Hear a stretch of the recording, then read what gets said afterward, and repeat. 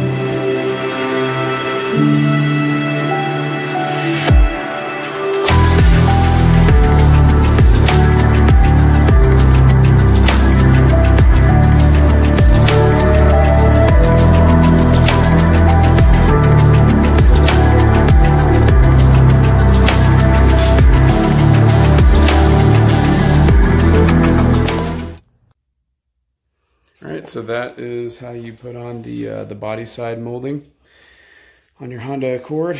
Um, should you choose to to do it.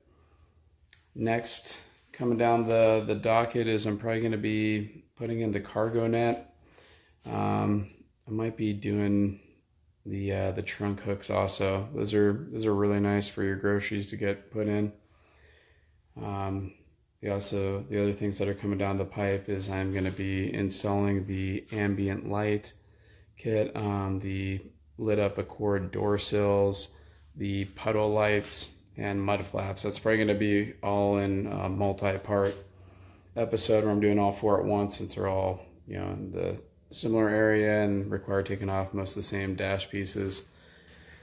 And then um, I have another install coming up a little bit later down the line um, of when I'm going to be putting on the uh, the lowering springs that I have and uh, that rear sway bar and camber kit.